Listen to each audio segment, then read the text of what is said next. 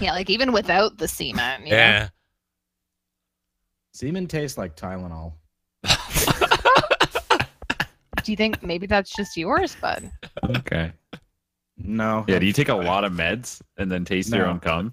I've What uh, is I- I think the only reason I think this is because it was implanted in my brain by this chick I used to work with. In fact, three of them who would like they, if they came into the kitchen and they went through the dish pit, they'd be like, "It fucking smells like cum in here."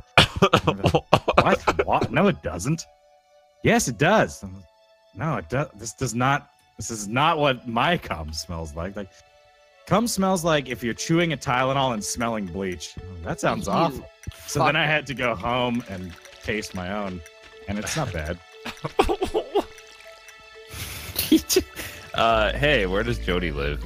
Oh, I found it.